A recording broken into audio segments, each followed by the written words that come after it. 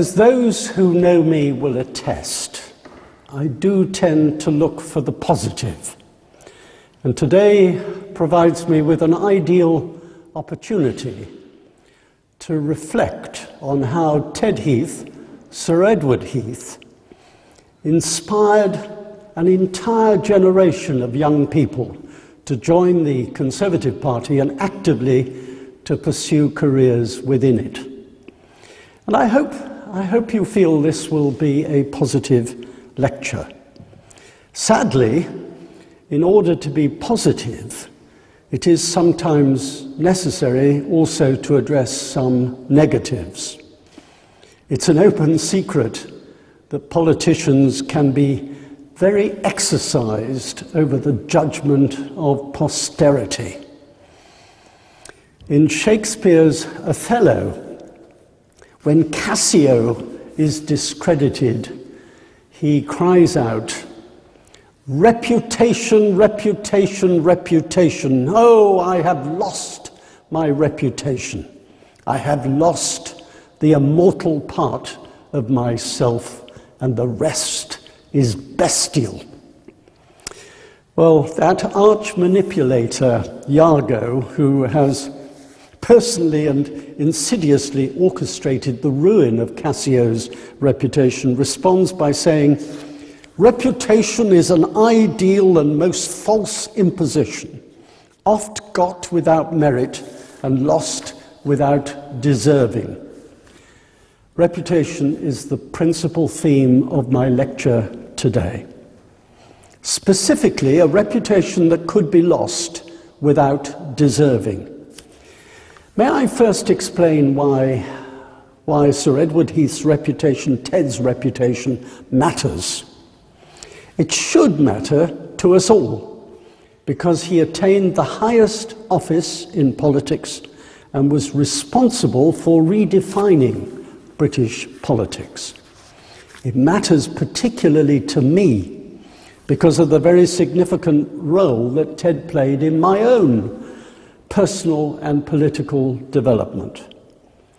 It is hard, no, impossible to justify all Ted's attitudes, his words and his actions in those long years of self imposed exile that followed his loss of the party leadership in January 1975.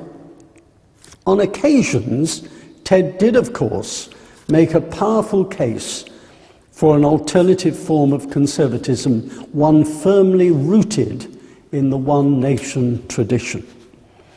On other occasions, however, he allowed his loneliness, his sense of alienation, and yes, perhaps even a degree of bitterness to cloud his judgment.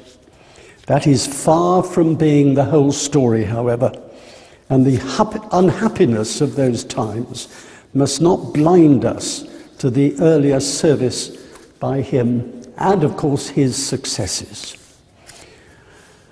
Not everyone in politics can remember the exact moment when he or she decided to embark on the precarious journey that is any political career. Well, I can. I was inspired actively to engage in party politics on Friday, the 22nd of January 1965, when I was a student at the University of Bristol. It was on that evening that I first met the Shadow Chancellor, Ted Heath. The occasion was a confidence motion, a debate about the first government led by Harold Wilson, which had been elected less than three months earlier and was clinging to office by a thread. The event attracted over a thousand students to the very grand Victoria rooms at the university, which dated back to 1842. The outside speakers were Ted, and for the then Labour government, Michael Stewart, the Secretary of State for Education. This confidence motion was moved by the leader of the University Labour Club, Peter Reid, and I was asked to lead for the opposition. The debate was preceded by a dinner where I met Ted for the first time. What an inspiration! All those who attended that dinner were very impressed indeed, first by his ability to listen, but then most of all, by his enthusiastic endorsement of the highest possible principles and standards in public life. He also treated us not as jumped up whippersnappers, but as colleagues worthy of respect in a debate that really mattered.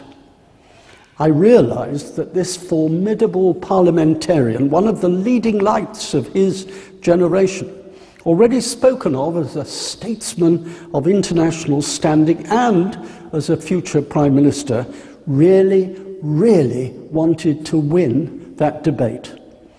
It was this determination and ability to focus that had brought him to the vital role of Shadow Chancellor under Alec Home, the role in which Ted really made his mark. It was the same competitive streak that led him just six months later to take up sailing for the first time in his life, not as a leisurely pursuit, but as a fast and dangerous competitive sport.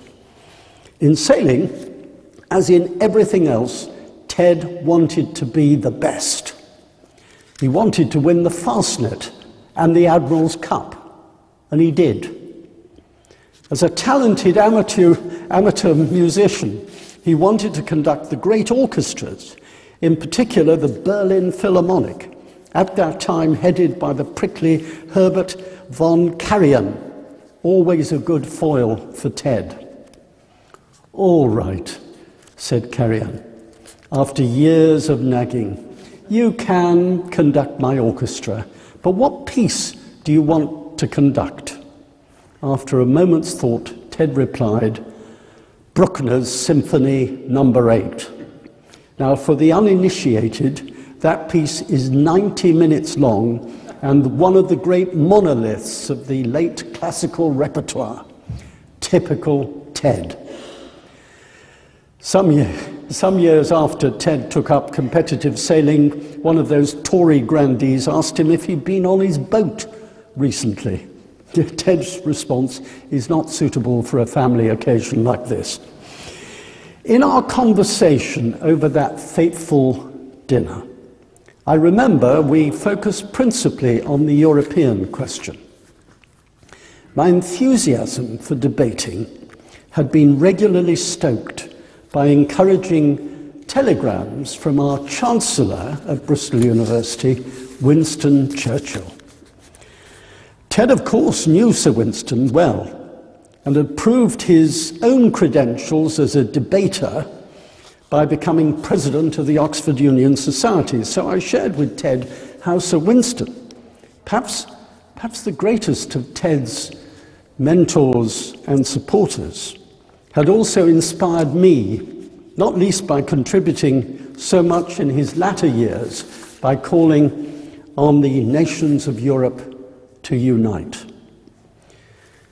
At first, as we can, in, as we can read in his celebrated Zurich speech in, in September 1946, Sir Winston was concerned primarily that the traditional continental combatants, France and Germany, must learn the habit of working together.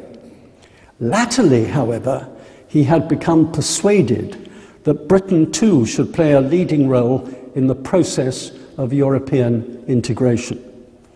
Little, little did we know, but even as we spoke enthusiastically about the inspiration that he had given us both, that great man was then on his deathbed, and Sir Winston would die just two days later. Uh, we then went into the debate. That fateful night, Ted Heath spoke with passion and skill. He was unstoppable.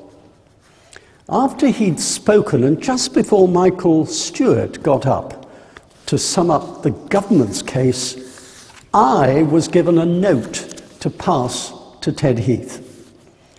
I did, he read it, and he immediately rose to his feet interrupting Michael Stewart and said, I know the House will be interested to know and to congratulate the Education Secretary on tonight having been appointed Foreign Secretary. Michael Stewart had indeed been contacted by the then Prime Minister Harold Wilson earlier that day with news of this elevation, but he had been unaware that the announcement was about to be made. He duly rose to acknowledge the news, and what a historic moment that was. The following day, Saturday, the 23rd of January 1965, the Times headlined the news with ovation from a thousand students. The story ran Mr. Stewart's appointment was announced at a Bristol University parliamentary night. He was given three minutes standing ovation by 1,000 students. This gave rise to my first ever letter to the Times, headed Bristol Debate, and I wrote a swift rejoinder. I had no desire to detract from Michael Stewart's understandable pride at attaining one of the great offices of state, but I did feel it necessary to point out that the debate had ended with a division in which the students of Bristol, by a majority of two to one, showed they had no confidence in the government. Ted won that debate and won it well. I subsequently became a passionate and enthusiastic chairman of the Bristol University Conservative Association and swiftly lined up an interesting selection of speakers, including Enoch Powell and Reginald Maudling.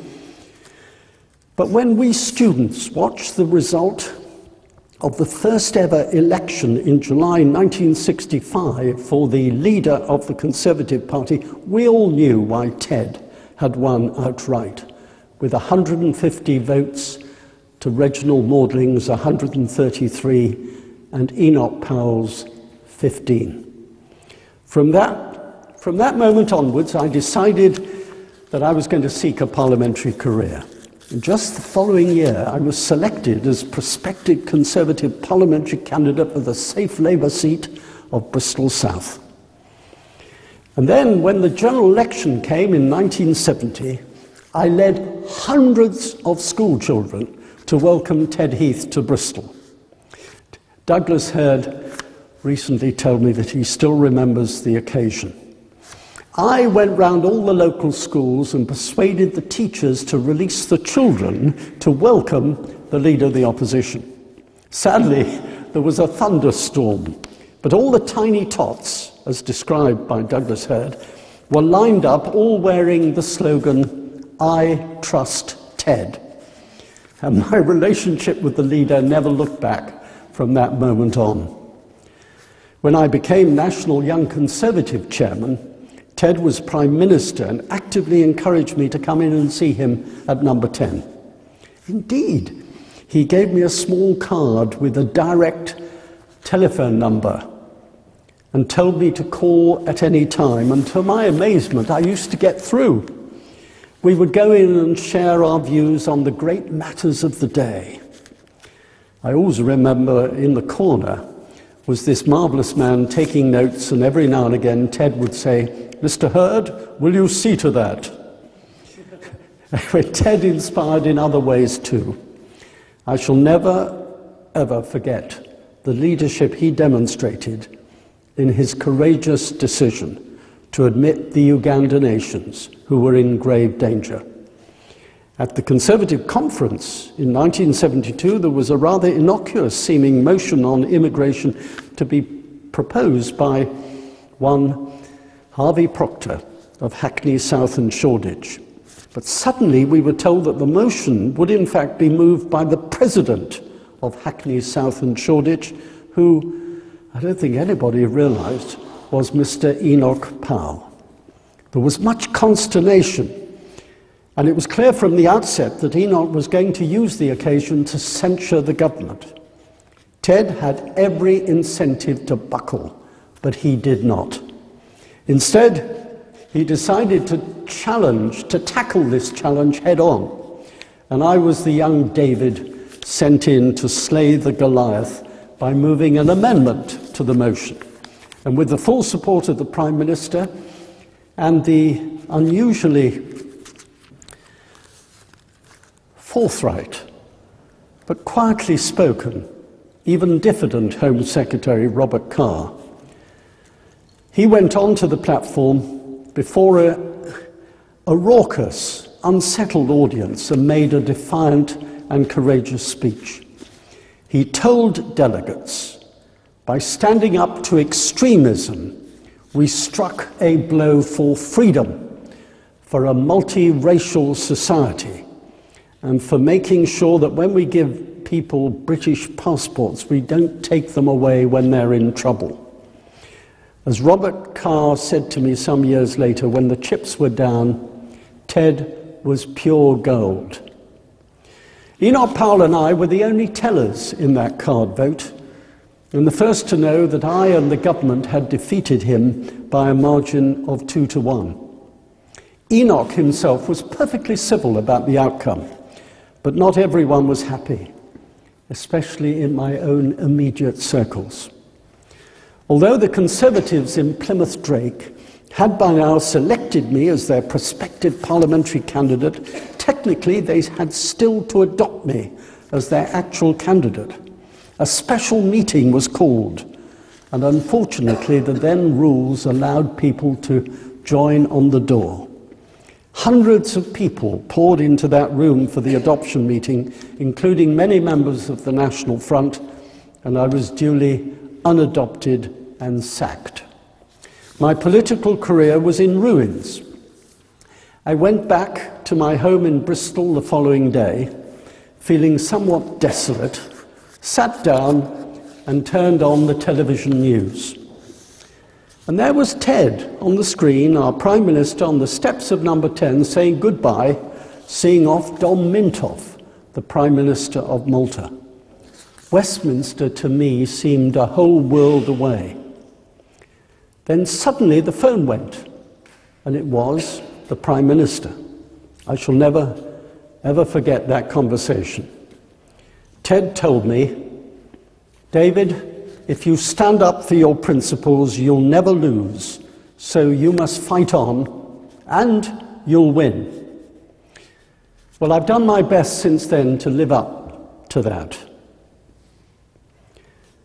There are three main canards about Ted, three well worn and unjust methods to traduce him. Two had currency during his lifetime, and the third, much the most squalid and vicious, is a much more recent occurrence. The first great untruth is that Ted was a weak and indecisive Prime Minister. It is true that he set out on one path, a clear path that, to my mind, made him the clear forerunner of one who followed, namely Margaret Thatcher. For some reason, this was never a theory that commended itself to Ted, but he was the first leader of the Conservative Party to recognize that the nation needed to modernize, to adapt to the demands of a new world. It is also true that he changed path when in office Ted was a one nation politician. In 1950, a pro and proud co founder of the group that bore that name, along with the likes of Robert Carr and also Enoch Powell. Ted regarded class war, indeed any form of civil strife, as unconscionable folly. Rich versus poor, managers versus workers, cities versus countryside. Ted was a rational man. He had, of course, seen for himself how the nation could come together in wartime for a common shared purpose, and he wished to see it do the same in peacetime. He recognized and deplored the, the utter futility of any group in society fighting any other group. He saw human, human existence as a shared endeavor and sincerely believed most, politics, most problems could be solved by gathering reasonable people of good character in a room and having them work together. You might even say there was an essential optimism in his nature. When unemployment hit 1 million in January 1972, Ted did not see that as being in any sense a price worth paying.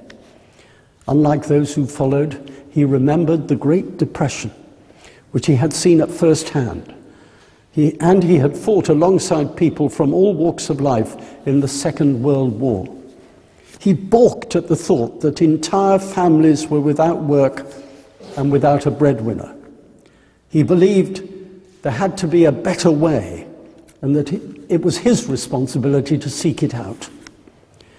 As inflation soared, as the oil crisis took a grip, as industrial strife blighted the country, and this country came as close as it ever has to a second civil war, Ted sought out that better way as a patriot who wanted the best for his country.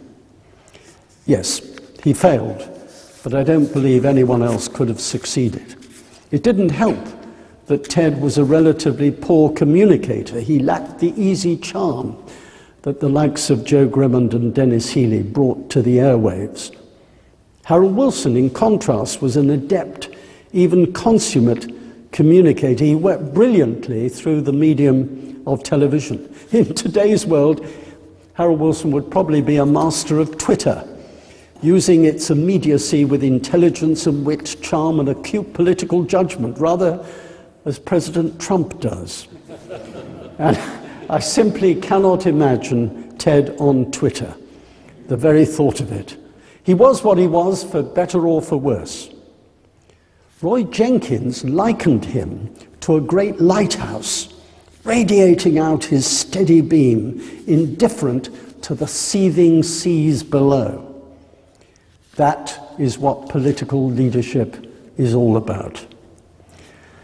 The second great lie about Ted relates to his time as Prime Minister and also to a sustained bravura performance he gave in 1975, the year after he lost office. Then, the year 1974 was an annus horribilis for Ted Heath. At the beginning of February, barely three and a half years into a five year term of office, he decided to call an early general election. His timing couldn't have been worse. On the 28th of January, okay, the Conservatives received more votes than Labour, but won slightly fewer seats. Ted's wily old adversary, Harold Wilson, had outmaneuvered him again and returned to Downing Street as the head of a minority administration. And then the year got worse. In the months that followed, Ted narrowly escaped an attempt on his life by Irish terrorists and his godson, Christopher Chadd, died when Ted's racing yacht, Morning Cloud, was destroyed in a freak storm. And then in October 1974, this time at a, at a moment of Wilson's choosing, Labour won a narrow majority. So as 1975 dawned, Ted was already a frustrated man. More and more of his colleagues saw him not as a man for the future, but as a liability, a relic of a failed experiment. Margaret Thatcher challenged him for the leadership, and for once, she who wielded the dagger, dagger did go on to wear the crown. In the space of a year, Ted had lost almost everything his reputation, his office, his home, and seemingly his role at the forefront of our public life. What a measure of the man that he took a brief holiday and returned refreshed and reinvigorated to the fray, ready to lead the pro European troops in the referendum that Harold Wilson had called on our membership of the European Union. Wilson did not, of course, believe in referendums. His party was divided over Europe, and he thought the best way of holding it together was to hold a referendum and allow party members, up to and including senior members of the cabinet, to campaign on opposite sides. That would let all the steam out, and everyone could then be friends again. It, it didn't work, of course. Six years later, the Labour Party split, and the SDP was formed, which is presumably why no subsequent Prime Minister would ever dream of trying anything similar. Oh, Sorry. Oh dear. In his later years, Ted grew increasingly frustrated, upset, and indignant at the rising influence of your Eurosceptics. He called them Eurosceptics.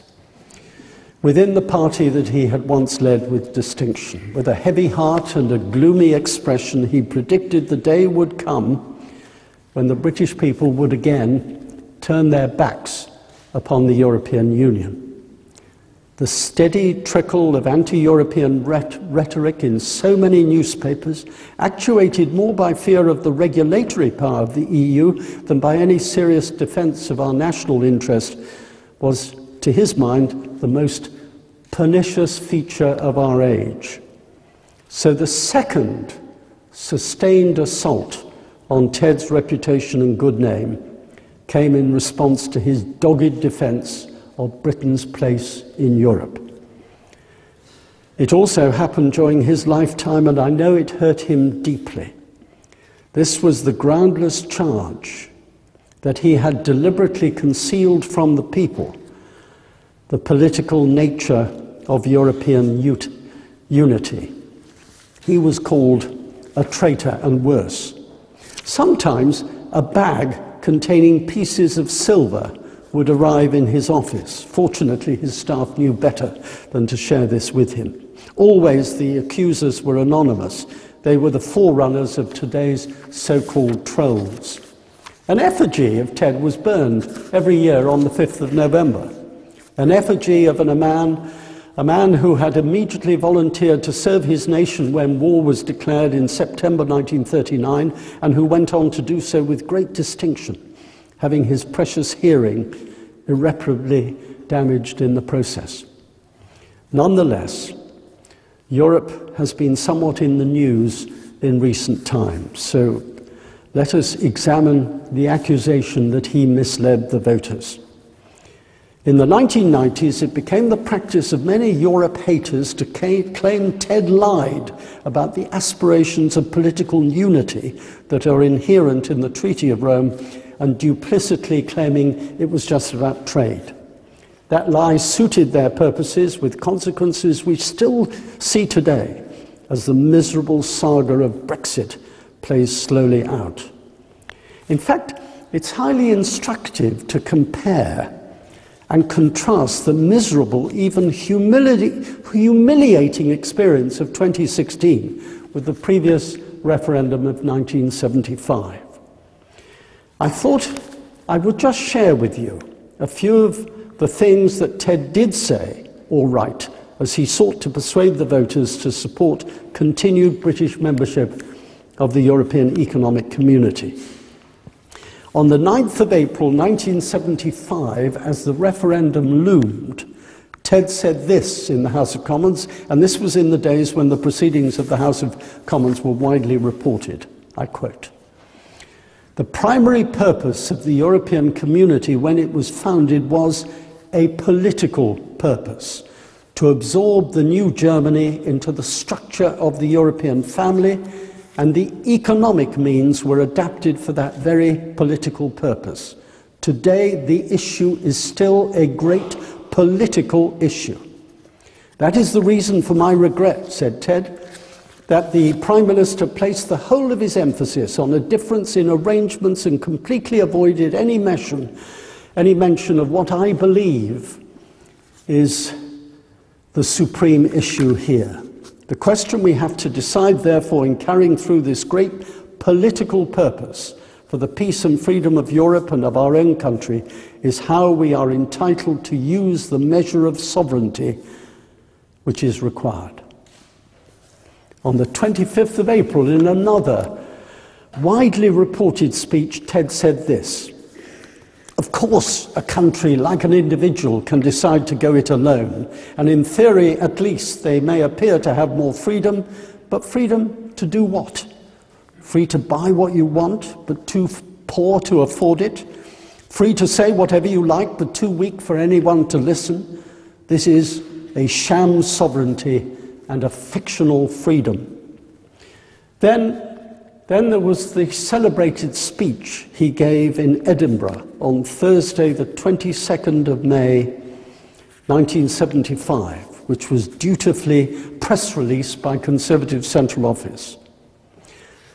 He said, Six nations took part in the historic step of founding the European Economic Community.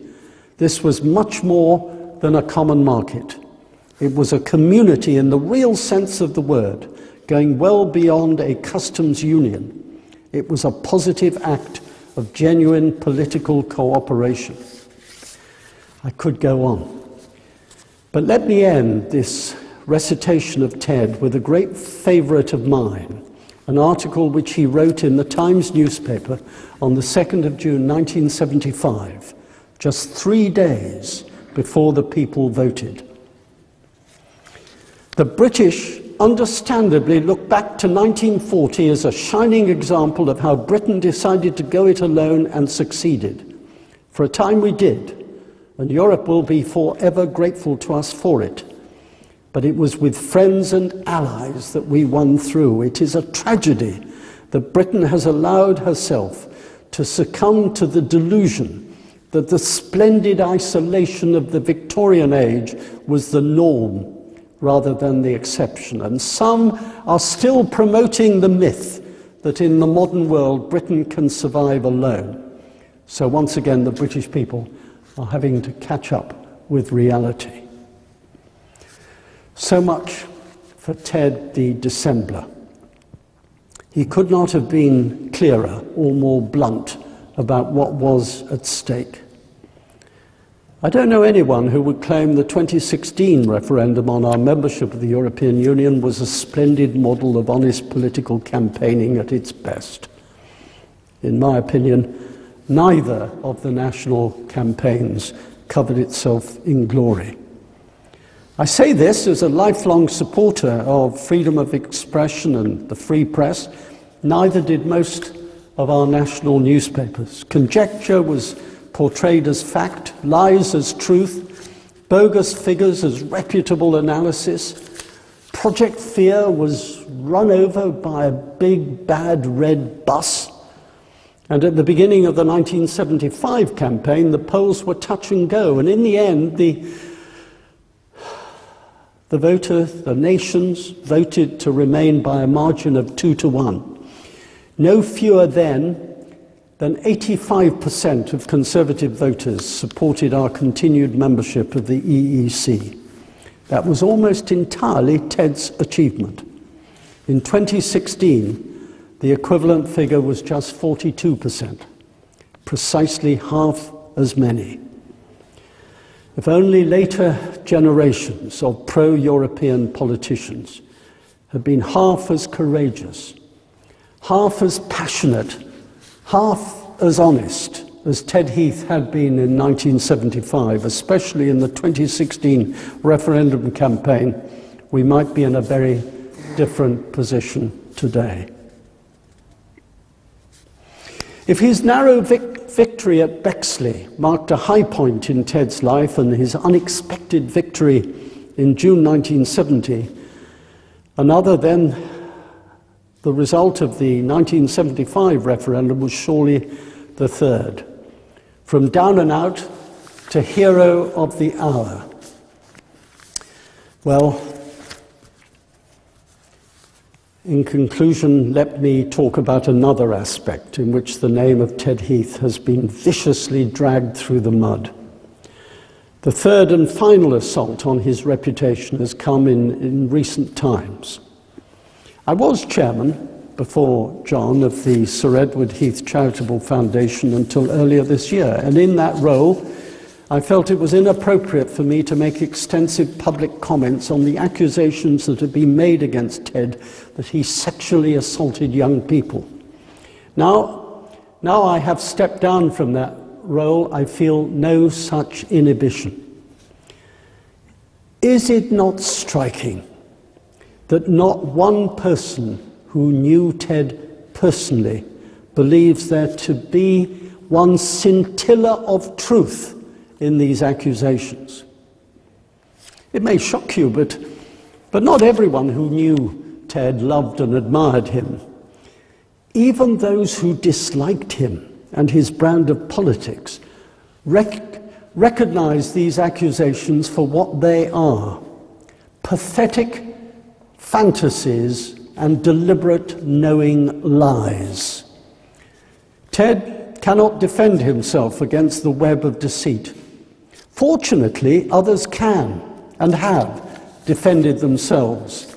Sir Cliff Richard, Paul Gambaccini, Lord Bramall, a hero who served his country nobly, my late friend and founder of the Holocaust Educational Trust, Greville Janner, Harvey Proctor, the late Leon Brittan, could and should have been informed that the cases against him had been exposed as a tissue of lies before he died, but he was not.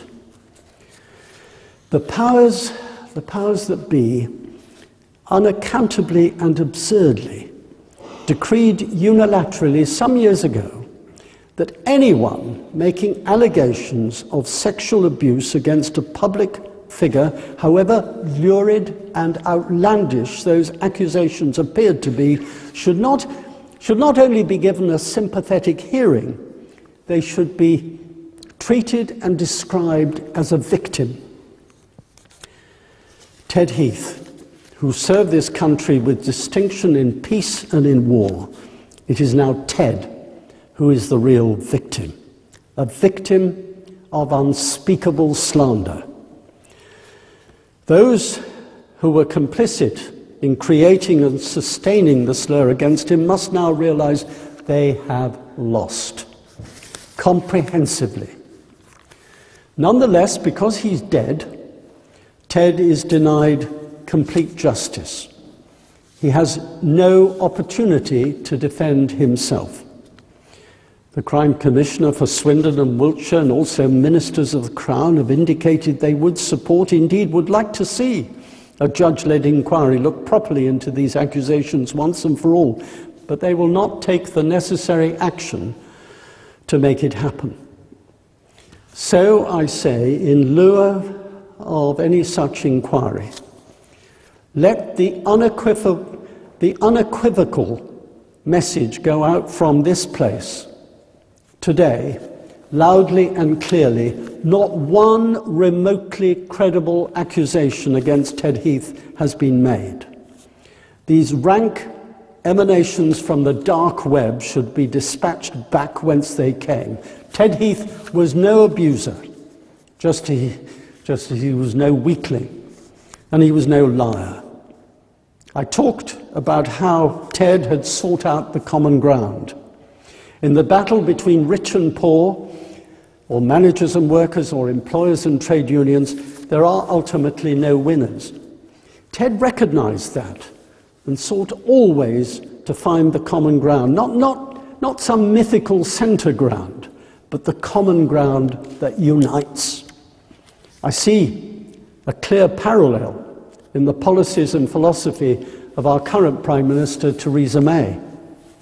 We read a lot about a moment, at the moment, about letters from MPs demanding a leadership contest. I just ask, are these people insane? Rightly and properly, the chairman of the 1922 committee, backbench MPs, refuses to reveal how many such letters he has received. As chairman of the Association of Conservative Peers, the equivalent body in the House of Lords, may I please let you into a secret? And of course, I sit on the board of the Conservative Party. I have received no such letters. Not one such letter. The only representations I have received from my fellow Conservative peers are full of anger and indignation about the disloyalty to our Prime Minister. By refusing to bow to pressure from the two extremes, the Prime Minister demonstrates her desire to reunite the nation, to ensure that the scar of Brexit can and must be allowed, indeed actively encouraged, to heal. Yes, a majority of those who voted in the referendum voted to leave. But 52% does not equal 100%, just as 48% does not equal zero. A binary proposition conceals the common ground. As the Prime Minister has said, we may be leaving the European Union, but we are not leaving Europe.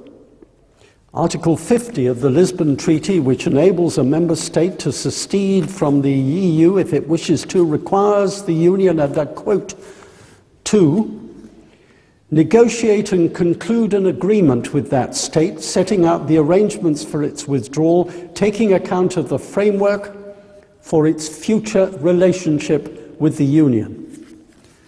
We cannot afford for there to be a vacuum after March 2019. So it is vital that we focus now not upon the past, but upon the future. There are those who would have this great nation of ours withdraw from the world stage by cutting off our links to our closest neighbours and allies. That would not only betray Ted and everything the Conservative Party has stood for for the past 50 or 60 years, it would also be bad for Britain and bad for the world. We certainly owe it to Ted to obliterate any remaining taint resulting from the vile accusations that have been made against him. The greatest tribute to him, however, would be to ensure that as we leave the European Union, we set about building a new and positive relationship with our European friends and colleagues. There have indeed been times when this nation has stood alone. But it is not something we have ever chosen voluntarily to do. Ted understood that, and I'm convinced our Prime Minister understands that. And despite all the sound and fury accompanying Brexit, I believe the Conservatives Conservative Party still overwhelmingly recognizes that too. We should make peace with the past, but not dwell on it. So let us, let us look now to the future, inspired by Ted and his vision. Take care.